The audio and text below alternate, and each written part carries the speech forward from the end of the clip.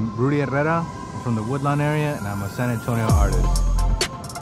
You know, when murals go around downtown, it changes the mood of things, you know what I mean? Like, it, it, comes with the energy, it comes with the new energy that kind of invigorates people and it just, it breaks up the monotony of the day, you know what I mean? It's just, a, it's a little spice on whatever's already down here.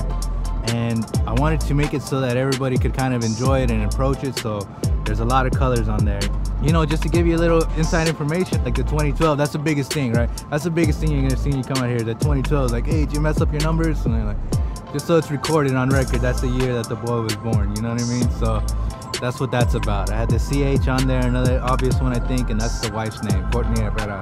I think the greatest thing that's gonna happen to it is like I always tell my homie Slim, whenever I saw a mural when I was seven years old, it blew my mind. Just imagine how that little mural, it multiplied into this. And so I think the coolest thing, and when I think about it, is that this is gonna be somebody else's first. What is that gonna multiply into?